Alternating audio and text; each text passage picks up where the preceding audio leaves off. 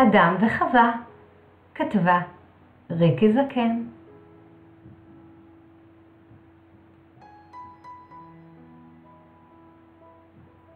בגן עדן עצים מכל הסוגים.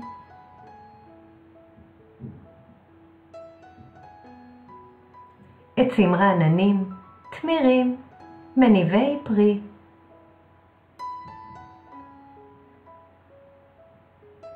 ומכולם מותר לאכול, ומכל העצים כולם מותר ליהנות מיופיים.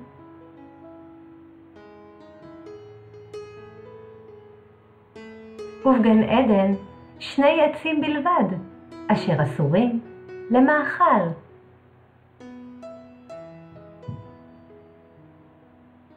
עץ החיים ועץ הדעת, טוב ורע.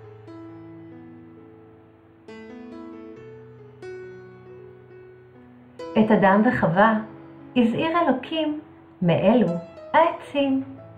אלו עצים אשר להם למאכל אסורים.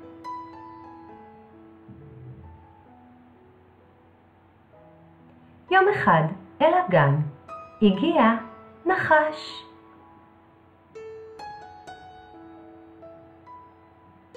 ראה הנחש את חווה, את עיניה מניחה על עץ הדעת.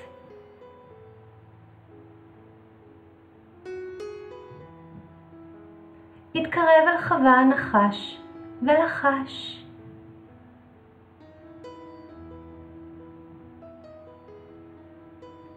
טוב עץ הדעת, בואי, יחד נטעם.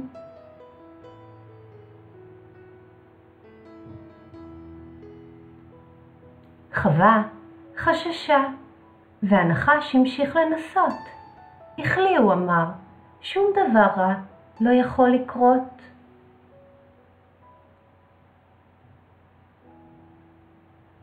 טוב העץ למאכל, ותאווה הוא לעיניים. טעמו ממנו השניים.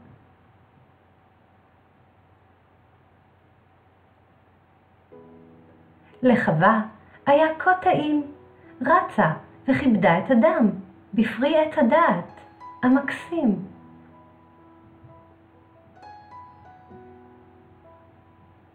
ונשמע עליהם קולו של אלוקים. אדם וחווה מבוהלים.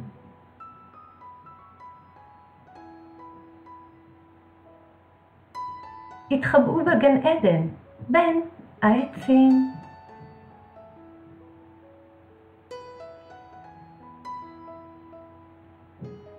קרא אלוקים אל אדם ושאל,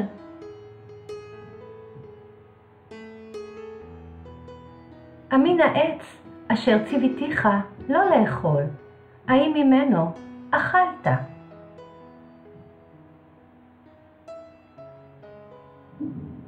ענה אדם, זו חווה נתנה לי לטעום מן הפרי.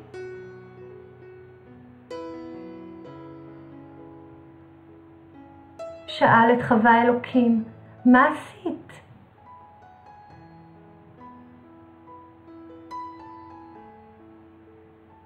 ענתה חווה, זה הנחש שנתן לי, לטעום מן הפרי.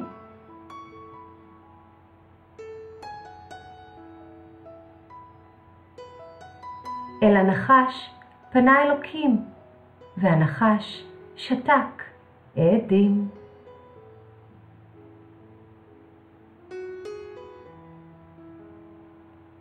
הנחש קיבל עונשו, לעד יזחלו על כחונו.